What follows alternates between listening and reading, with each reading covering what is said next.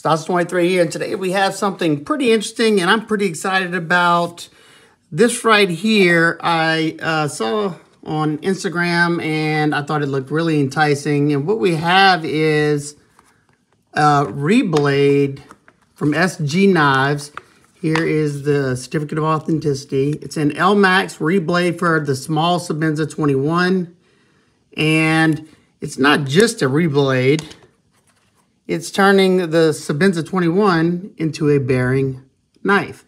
Comes with these skiff bearings, and as you can see, it's milled for the bearing track inside there. Um, and I haven't measured how thin it is. It's a hollow grind. Hopefully it's a little thinner than the actual Sebenza 21 is. But he even crowned the spine up top, and his work looks pretty darn good. Can't wait to start testing this one out. So I figured I'd put it on and see if the action is any better uh, than mine is right now. There's a little patch from him. Um, my action on my spot, this is my user. I've been having this one, I think, the longest. I put the double lugs on it myself, and it's very, very smooth. Um, I can flip it out easily, and it's just a very, very uh, nice hydraulic feeling on it. So I'm interested to see what this is going to feel like with bearings, and let's see if it helps the action out. I will uh, do this real quick. I will show y'all me disassembling it. I'm probably going to do a time lapse because I don't want this video to be super long.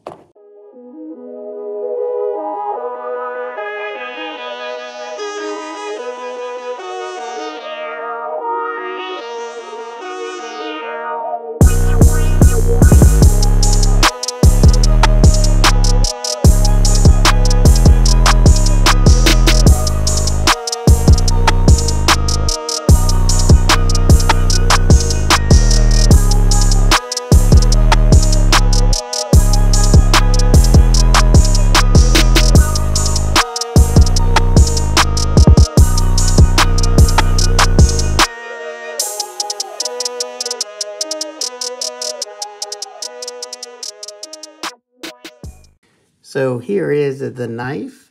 And man, oh man, I must say I'm super impressed. Comes with also titanium double lugs on here. And I was a little bit worried because whenever you go to this blade, it takes out that pivot bushing. And, you know, I, I, I like the pivot bushing on the 21. That's why I love the 21 because um, a lot of them are a lot smoother than 31s. And uh, boy, I was wrong on this one. So let's check out this action.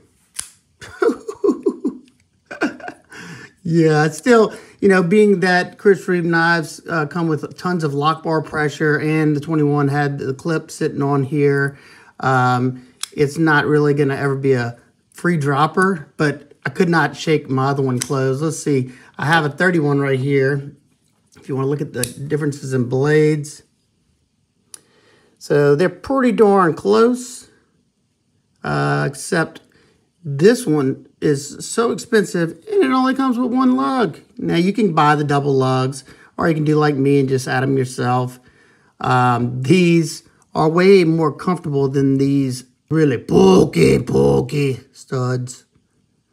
I mean, who thought that that was a good idea? Those are especially somebody like myself with, with tear, torn up hands. I'm gonna grab my calipers real quick and see the difference in uh, behind the edge thickness. All right, first let's check the 21. I know this one's at 22 degrees per side. And the SG Blades is also at, it's either, yeah, it's either 21 or 22 degrees. So my 31 is at Hold on. My 21's at around 20, hopefully I can see that. 20, probably 20 degrees per side. Hold, I mean, 20 thousandths behind the edge, my bad. Now let's check this bad boy out. Feels thinner.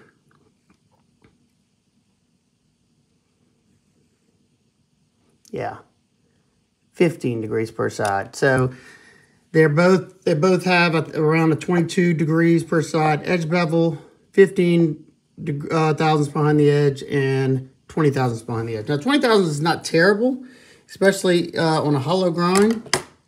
So I'll be doing some testing with this one, uh, getting some good use out of it. And man, that sounds, that's so nice.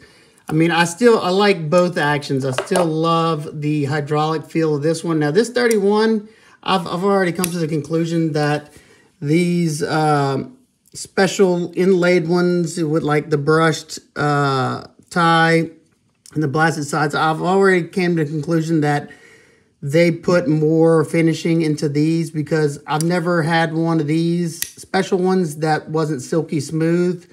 Now, unlike my uh, small 31 in MagnaCut, that thing came with a terrible action. And I, I opened and closed it for about two weeks and it didn't get any better. So I did it, uh, I sped up the process a little bit and polished all the internals.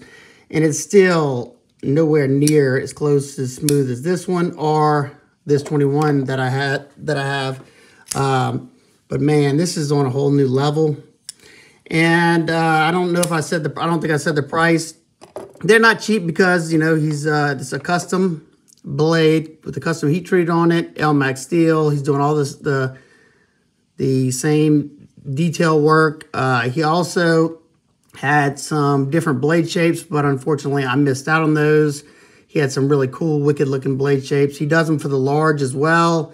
And this one, uh, without no crazy blade shape and without being Damascus, was 250 bucks.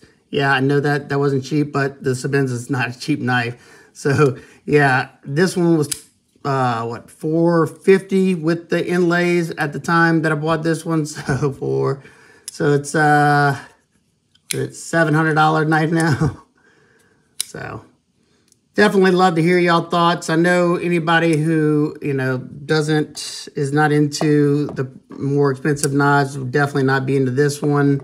Um, but yeah, there you go. The only thing, let me see something. The only thing that I noticed that I like on this, this one more is you can see how they did the plunge grind way back here. So you have tons of sharpening life back here on uh, this one. Now on this one, the plunge comes down right here. So as you can see, it already started to widen up a little bit. I'm going to have to either put a notch in there for the next time I sharpen it, or I'm going to get a, a big smile back here. I got to be careful because in the closed position, that's where it's sitting. So I'll either have to put a notch right before it, which that's probably what I'll do, or just shave off a little bit of this, like make this angle a little bit, uh, make it go in a little bit. I don't know. We'll see whenever it gets there. Super sharp. It feels super sharp. Let's check that out. All right. Wow. Definitely uh, sharper than any Sebenza I ever got out of the box. Let me know what y'all think. I will have a link uh, to SG Knives in the description if y'all want to check him out. I'll leave a link to his Instagram as well because you can go see all the, the sweet blade shapes he did. And I think he's uh, he has his books open to accept regrinds. I'm not, I mean, reblades. I'm not at 100%, but last time I checked, I think they were. So if you have any questions, comments, concerns, please leave them down below. I hope everybody's having an absolute amazing day. I will see y'all on the next one. Peace.